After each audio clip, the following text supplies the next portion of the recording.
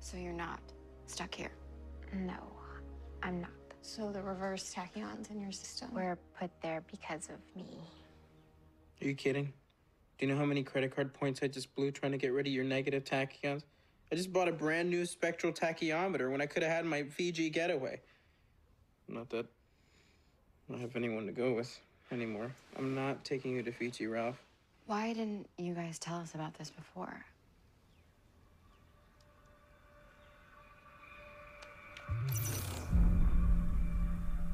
Oh my god.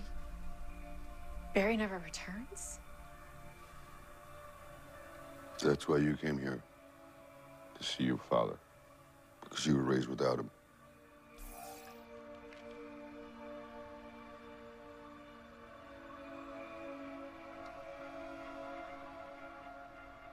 So what? Iris.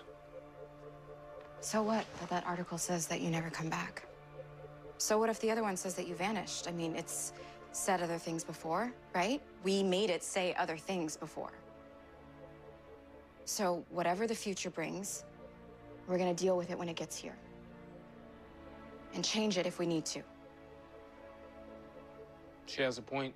If there's anything Team Flash is good at, it's handing the future its own ass, and then some.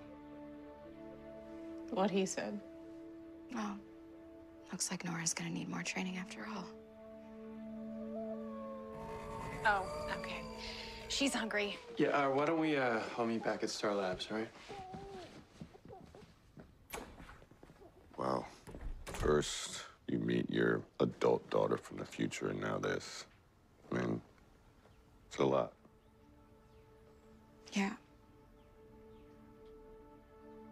Well, I guess now I know why she never wants to leave her dad's side and why she never wants to be by mine. Nora will reach out at some point. The trick is, you gotta keep yourself busy.